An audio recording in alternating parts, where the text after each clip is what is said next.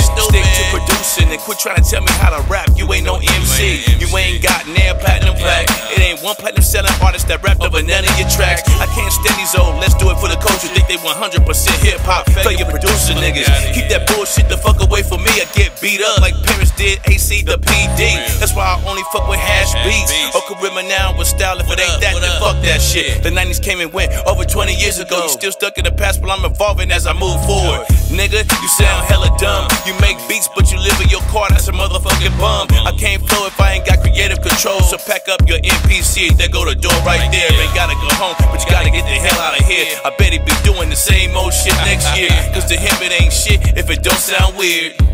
And let me get this clear. Man, I ain't never heard of you.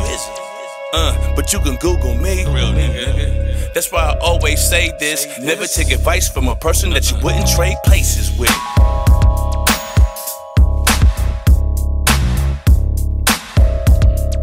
Never take advice from a person that you wouldn't trade places with. Got stabbed in the back by some niggas that I used to be aces with.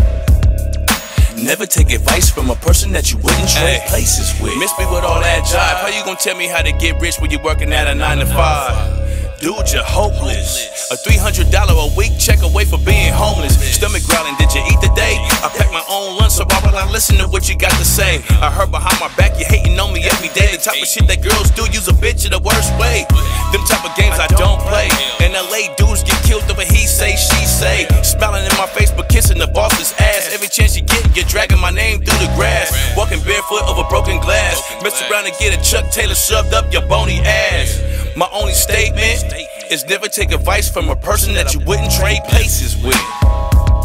Got stabbed in the back by some niggas that I used to be aces with. That's why you never take advice from a person that you wouldn't trade places with. Uh-uh never take advice from a person that you wouldn't trade places with.